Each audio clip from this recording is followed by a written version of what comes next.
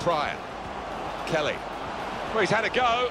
Maybe a bit of a sighter, but it was a strong effort. I have seen him score from those kind of distances.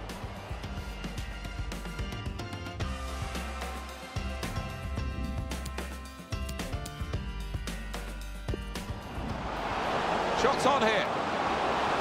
Looking for teammates in the middle. Oh, that's great. And the wait is over. It's a fine goal.